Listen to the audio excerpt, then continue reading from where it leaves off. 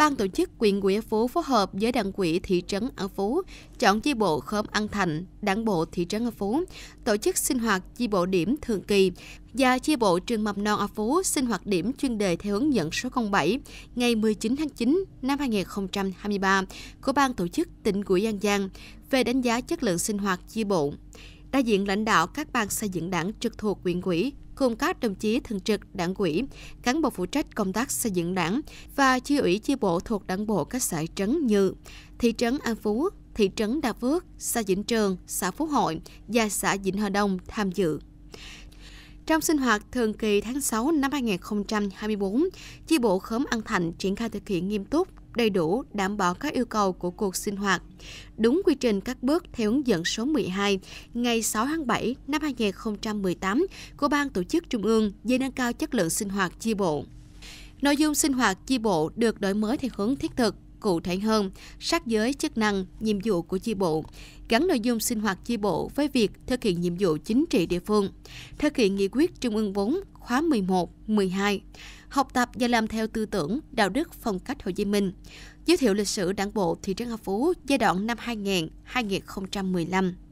Tham gia các buổi sinh hoạt, các đảng viên đã mạnh dạn đóng góp nhiều vấn đề liên quan kinh tế xã hội, an ninh trật tự, tình trạng vay vốn tín dụng đen, các vấn đề liên quan đến chính sách an sinh xã hội, nâng cao tính chiến đấu trong tự phê bình và phê bình trên tinh thần tự soi, tự sửa của đảng viên trong chi bộ. Đối với sinh hoạt chuyên đề, Tri bộ trường mầm non phố đã triển khai chuyên đề tăng cường sự lãnh đạo của chi bộ đối với vấn đề đảm bảo an toàn vệ sinh thực phẩm tại trường mầm non A Phú quý 2 năm 2024.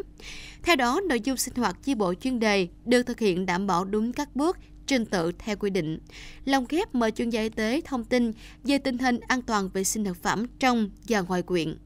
Đảng viên mạnh dạng thảo luận đóng góp ý kiến để tìm ra giải pháp, nâng cao chất lượng, hiệu quả thực hiện chuyên đề tại đơn vị trong thời gian tới. Ông Quỳnh Văn Lái, Quỹ viên Ban Thường vụ, trưởng ban tổ chức quyền quỹ đánh giá chất lượng sinh hoạt chi bộ điểm thường kỳ và chuyên đề của các chi bộ đều đạt yêu cầu đề ra. Đồng thời, trưởng ban tổ chức quyền quỹ đề nghị cấp quỹ các chi bộ tiếp tục triển khai thực hiện nghiêm túc, nề nếp chế độ sinh hoạt chi bộ theo quy định,